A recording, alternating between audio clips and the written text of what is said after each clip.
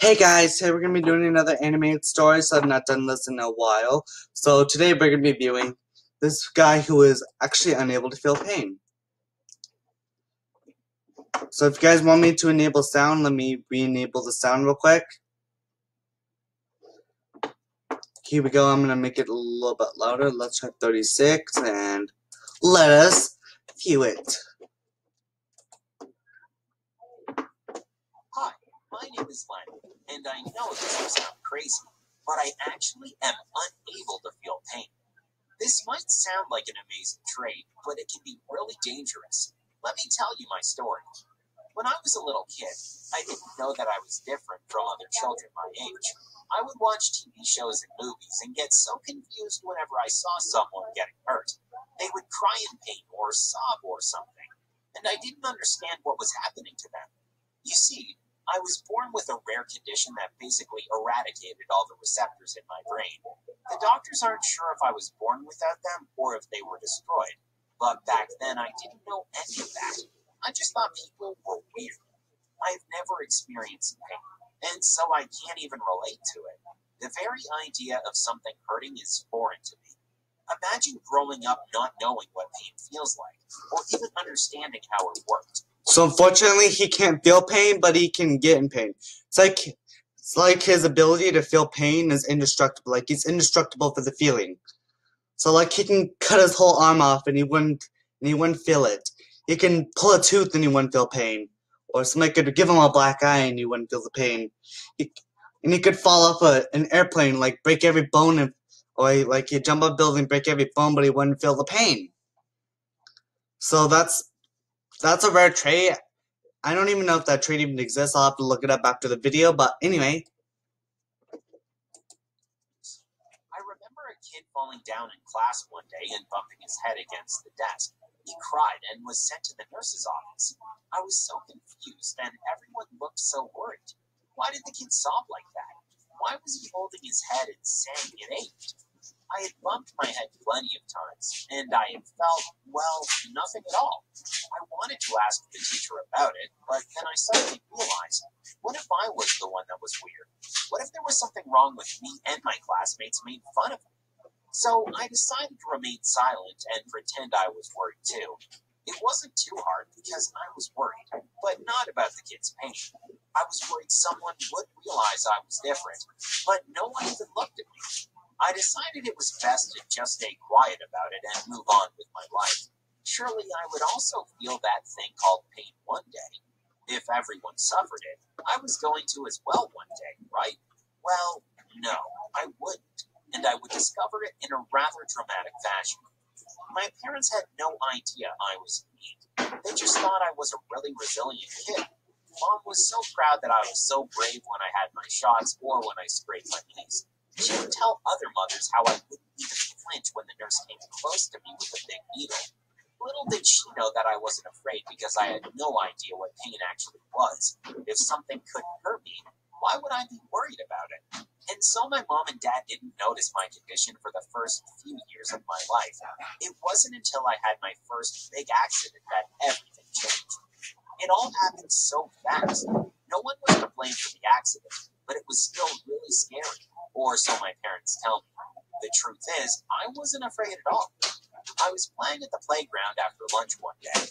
Mom had insisted we go to the park so I wouldn't spend all day long glued to the TV. I was really excited since that meant I'd be able to run around and be silly. We had been in the playground for a while when I decided to go for the swings. I loved them. It was so much fun to go as high as I could. It felt like I was flying. I remember Mom warned me not to go so high, but I didn't listen. I just chuckled and tried to jump forward. I was planning on landing on my feet neatly, but I messed up.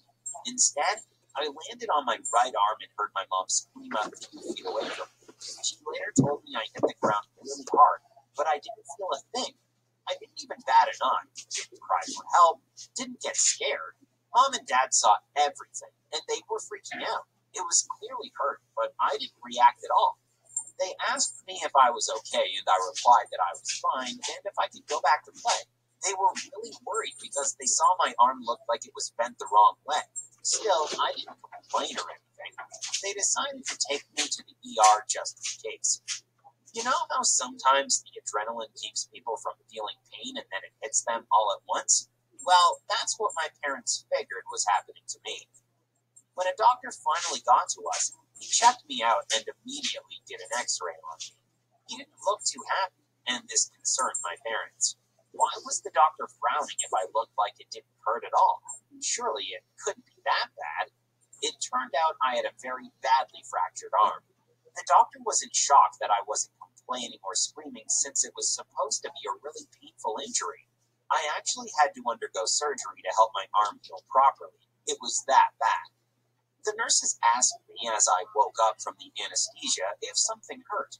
I just replied that it didn't. The doctor wanted to see if I could really go without painkillers after the surgery. I didn't even feel the difference. The whole staff was fascinated by my case. I didn't take any pain medication during my stay there and felt perfectly okay. In fact, my mom had to threaten to ground me just to keep me in bed. It was important that I lay still for a few days to recover. The problem was I felt just fine and was bored out of my mind. My parents didn't know what to make of it and decided to take me to a specialist. After all, I was supposed to feel pain what could possibly be wrong with me? It took the doctors several tests to finally figure out what was happening. An MRI image showed a lack of transmitters in my brain that would usually decode pain. Though I technically should be able to feel it, my brain was unable to process and react to it. The doctors said it was an incredibly rare condition and that there were very few documented cases in the world. I was very unique, and honestly, I thought it was really cool. My parents were admittedly very worried, but to me, it was so awesome. With this newfound knowledge, I became incredibly reckless.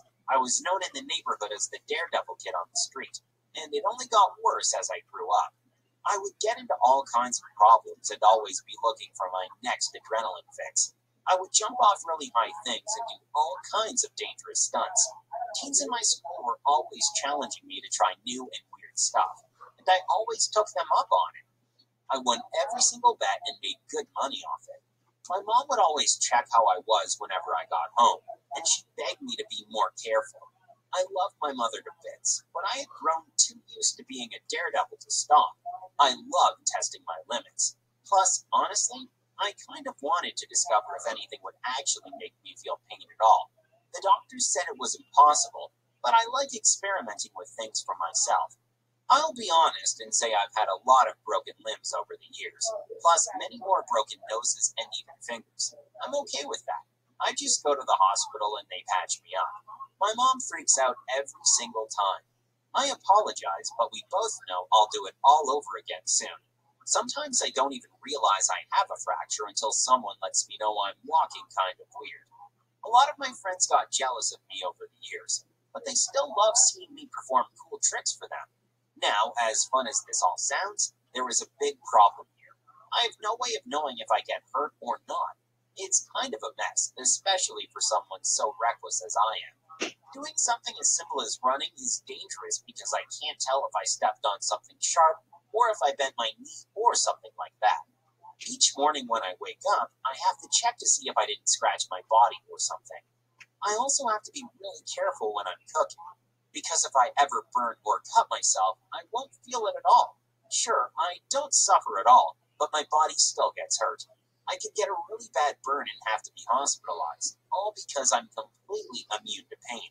Imagine needing to be super careful about anything you do and checking yourself in the mirror every few hours. It gets so boring, and I'm not exactly the most patient guy in the world. Sometimes I forget and then suffer the consequences.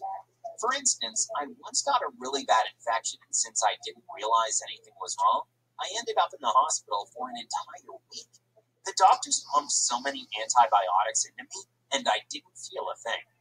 Another time, I suddenly began feeling super sick.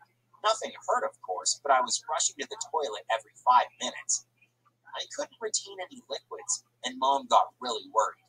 The doctor at the ER at first didn't pay me much attention.